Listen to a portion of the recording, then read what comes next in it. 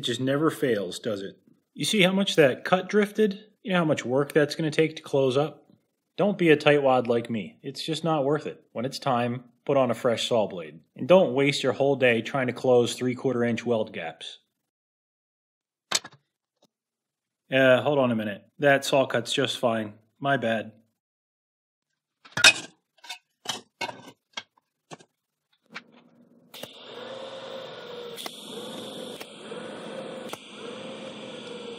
This is what will become the bottom of the cart, the footprint. The bottom of this frame is where the wheels will go. I clamped the first piece down and just sort of walked my way around. Now I started at the bottom and I'm working my way up, so any error accumulation ends up at the top of the cart. Had I started at the top and worked my way down, I risk running into the concrete floor and then having to let some air out of my casters to compensate. I've only got the four corners tacked on one side so far. That's plenty to keep this together for right now. If I cared more about how square and flat this thing turned out, I might add more on the back and push the frame around with some clamps until it's square. But instead, I'm going to hedge my bet and do some strategic welding, like preemptive strikes, or try to anyway. No matter what you're welding, if you're welding, like fusion welding, you need to deal with distortion. And take my word for it, it's much better to think about before welding than it is to deal with after welding. And as much as it pains me, we won't get into the details here. Short story is you're introducing molten metal. When that weld bead, or tack in this case, solidifies, it's going to contract. For steel, that's going to pull all the material it's bonded to in towards itself, kind of like a black hole, with a force on the order of magnitude of probably 30,000 pounds per square inch. My hobby store clamps just ain't got a chance. So, knowing that was coming, what I did was leave a little bit of a gap at all of the miter joints. It's small, 32nd of an inch, probably less at this point, about 30 thou, three quarter of a millimeter. And ideally, what that might do is not allow the tubing to bottom out on itself anywhere when that weld nugget pulled it in closer which means the weld is now potentially acting like a little hinge. I could still, to some extent, move this tubing around a bit. It might not be easy, but there's still room there to do that if I really needed to. This particular corner has closed up on me. The weld has pulled it shut. The square is only touching at the end of its legs. The other two corners have done just the opposite. Now the square is touching on the corner and the end of one leg, and the other leg is just sort of floating in space there. In fact, you may even be able to see it. The small gap that I left has closed on the outside and opened on the inside. Right? The weld bead pulled this piece of tubing out and closed that gap. Which is okay in my case because I need to move this tubing back in. Had this been the opposite, had the inside corner closed and I needed to move the tubing in, well, it would have been angle grinder time. So to recap, I need to close this corner and open this one if, you know, I want this frame to be square. Now, frankly, for this frame, given that I have gaps and just small tack welds, it's light gauge tubing, I could just shove this around, hit it with a hammer, clamp it, force it in place, and finish out the welds. But instead of making a whole lot of noise and potentially breaking a sweat, I'm going to take this weld contraction to my advantage. I'm going to start off by welding these inside corners and hope that that cooling weld bead pulls this corner closed.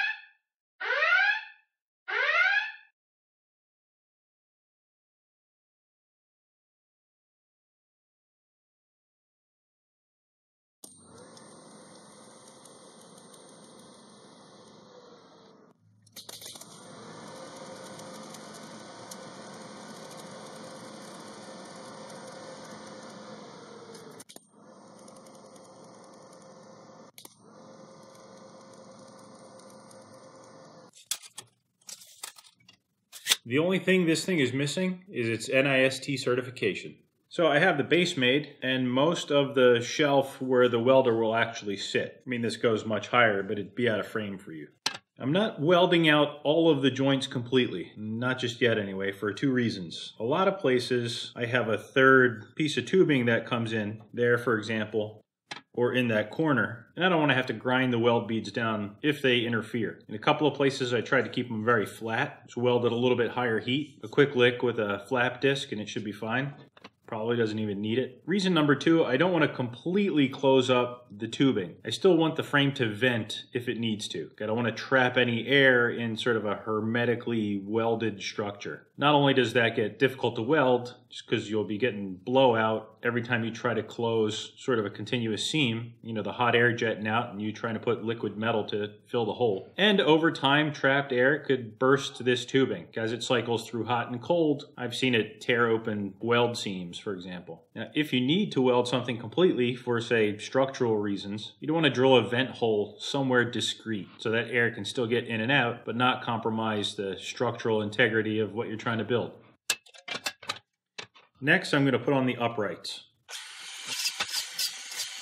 I'm deburring and sort of cleaning a bit with a flap wheel. I don't know, 60 or 80 grit. Maybe 80. And then just sort of wiping the joint down before I weld it. I like using these coarser flap wheels. They leave a rougher surface and give the weld a little bit more to bite on.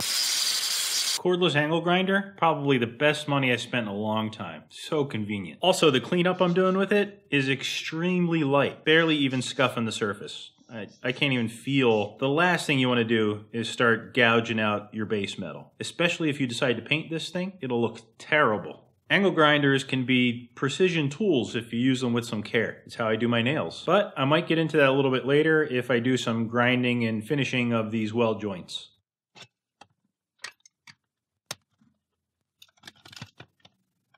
Using a small piece of filler wire just to set a gap here. If there's any distortion from the weld I'm about to put in, I want a little bit of space to try to counter that.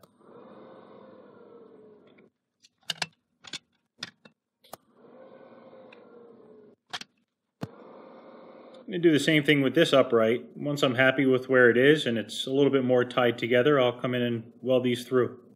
The more obtuse among us may have noticed that I'm sporting a torch switch instead of my usual foot controller. And it's true, I'm not going to lie. I just unplugged the pedal and plugged in the button. Some electrical tape and I'm off to the races. Uh, since the cart I'm building will end up being biggish, or, you know, big for what I usually do, and especially because I've got a camera and tripod in the way, it's much easier to walk around my bench welding as I go with the torch button without kicking my foot controller all over the floor back and forth while I'm trying to take care of business.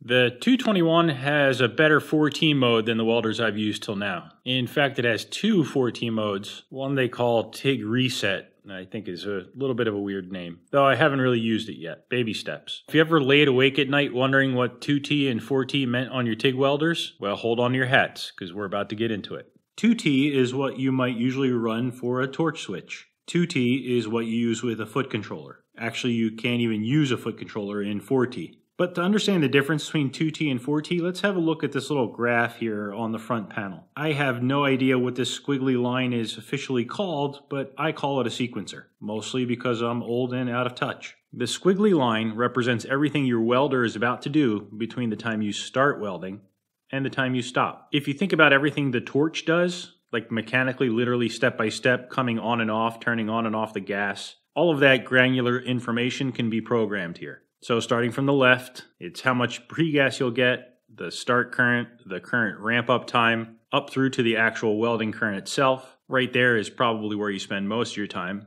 Then the slope down time, the final current, and then your post gas time. At that point, your arc would be off. Everything the welder does between when you start welding and when you stop. I guess shy of holding the torch and filler rod for you. If you need your welder to do that, you'll have to buy a robot. 2T mode is your most basic control. It's an on off switch. Well, it's a push switch. It's more like a doorbell. It's going to keep ringing as long as you lean on that button. In the case of a welder, you push the button on the torch and the welder starts welding until you let the button go.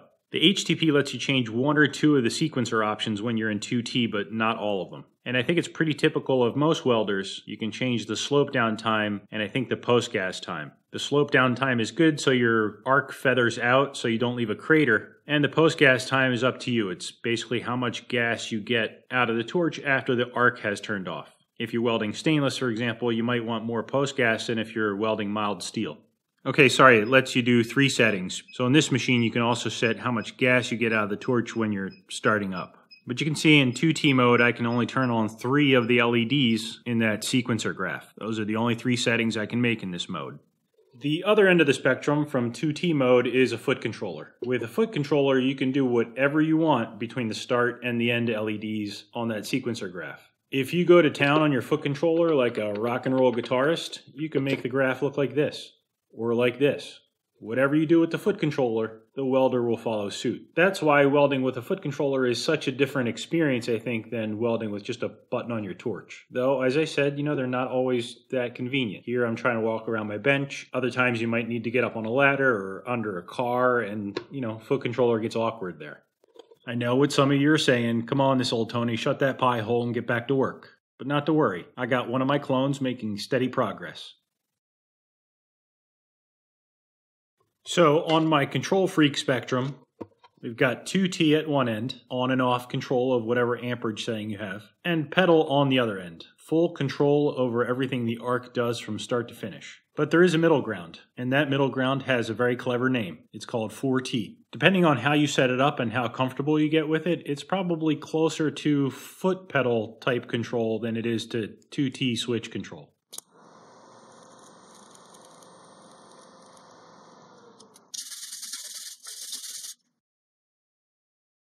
4T mode is a little tricky to get used to when you first start using it. It was for me anyway. For me, it was a bit like patting my head and rubbing my belly at the same time. In 4T, the welder is now looking for state changes in the button, not just on and off anymore. It's sort of decoding more information from the button than it is in the 2T setting. As a result, it allows you to change more things on the sequencer than you could otherwise. Think of it like sending Morse code to the welder to tell it what to do with the arc. Maybe not as much clicking as with Morse code, but close.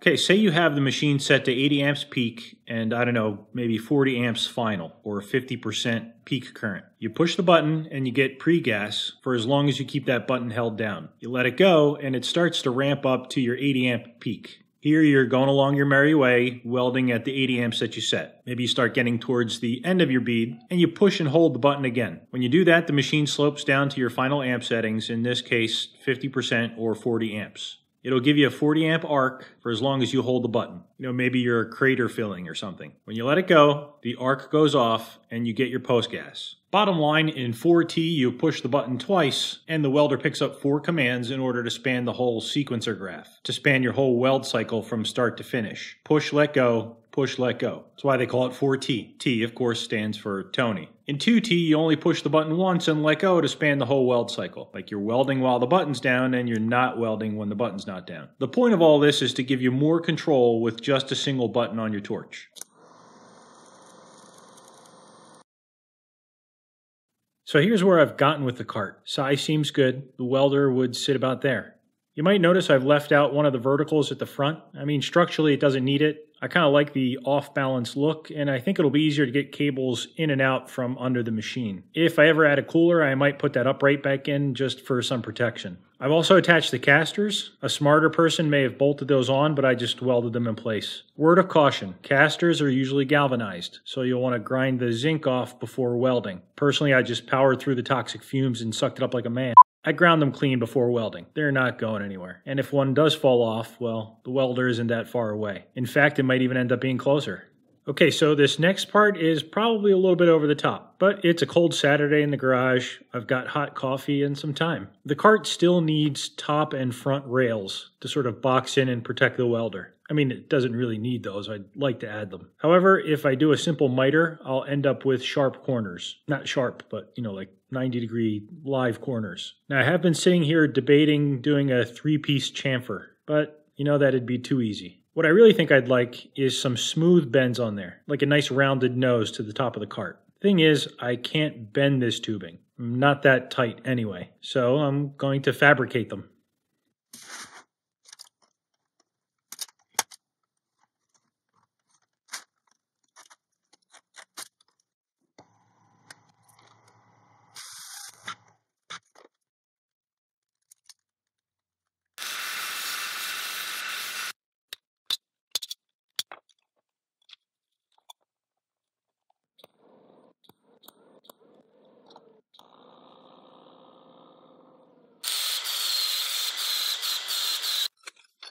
You know what? Chicken butt. I think I can make this work, but I don't know. There's something about it I just don't like. Just not feeling it. I'm going to mold this over a minute, but I think I may go back to the chamfer, like the three piece chamfer. Maybe do it in four pieces.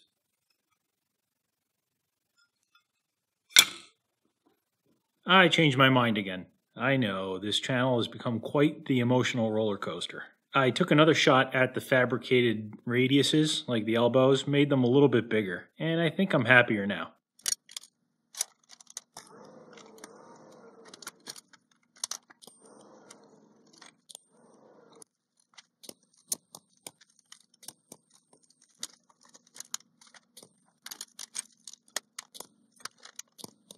I wanted to pick up the rounded look from the HTP handle, and I guess the first one I made just wasn't right. I mean, these aren't perfect either, but they're better. If you build your own welding cart, be absolutely sure not to skip details like this. They're of vital importance. I also put in some perforated sheet. It's just sitting there now. Perforated hopefully keeps some of the dust from settling under the welder. Also, it got a little bit more grip than like a smooth sheet. The small recess just keeps the welder sort of where it's meant to be. Hopefully keeps it from sliding out while I'm doing some hard cornering. And if I get overzealous and maybe yank the cables too hard, the rubber feet on the welder at least might stop here instead of just pulling the whole thing out of the cart. I don't know if it looks heavy on video. I mean, it's certainly got some presence here, but it's surprisingly light. Again, the tubing is very thin wall. The bottom is just some galvanized sheet.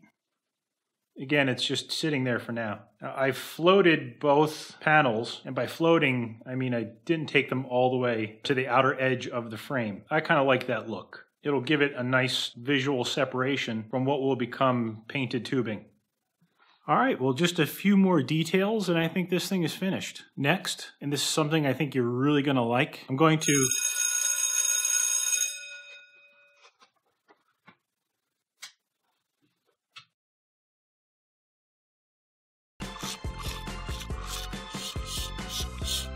Well, would you have a look at that? You really can milk a welding cart.